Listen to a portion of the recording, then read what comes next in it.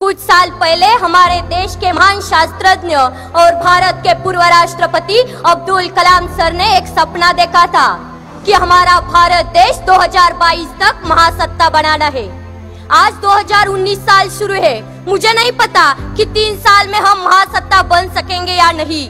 लेकिन देश में बार बार होने वाले चुनाव, उनकी वजह से बर्बाद होने वाले समय, पैसे और निर्माण होने वाली अस्थिरता की वजह से हमारे देश को महासत्ता बनने में बड़ी रुकावट है, जिसको चाहे तो हम दूर कर सकते हैं, एक देश, एक चुनाव संकल्पना के माध्यम से।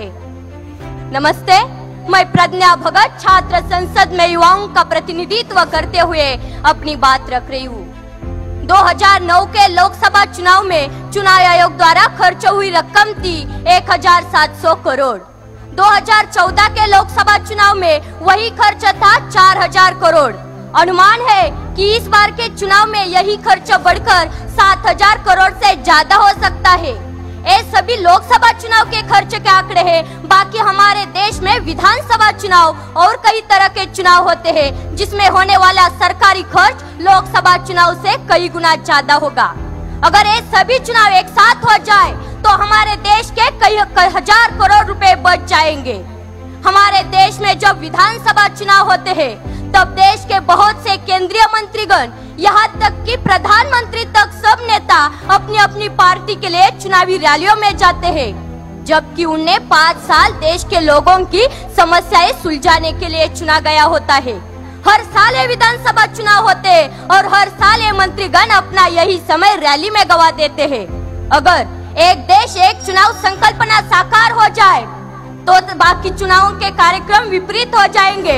हमारा देश कई हज़ार करोड़ रुपए से बच जाएगा। और पाँच सालों में एक ही बार चुनावी रैलियों के लिए जाना पड़ेगा। यह एक बहुत बड़ा फ़ायदा हमारे भारत देश के लिए होगा। ना रुकेगा आचार संहिता की वजह से विकास और ना वो जाएगा प्रशासकीय व्यवस्था के ऊपर। बस, इस पूरी संकल्पना में मुझे एक दिक्कत दिख रही है।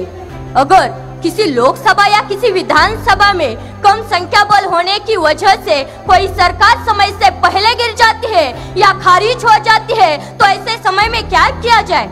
क्योंकि अगर उस खारिज हुई विधानसभा या पंचायत का चुनाव फिर से किया जाए तो देश के बाकी चुनाव के कार्यक्रम के विपरीत हो जाएगा। अगर इस विषय पर हमारे संविधान में कोई हल बनाया जाए और हमारे कायदे मंडल की ओर से कोई अच्छा नुस्खा निकाला जाए तो बाकी सब काम आसान हो जाएँगे। हमारे देश का बहुत सारा पैसा बच सकेगा। प्रशासकीय व्यवस्था पर हर बार आने वाला प्रेशर भी भारी मात्रा में कम हो जाएगा। और हम गर्व से कह सकेंगे, हम होंगे कामयाब, हम होंगे कामयाब एक दिन। मन में है विश्वास पूरा है विश्वास। हम होंगे कामयाब एक दिन। हम होंगे कामयाब एक दिन। जय हिंद जय महाराष्ट्र जय शिवराय।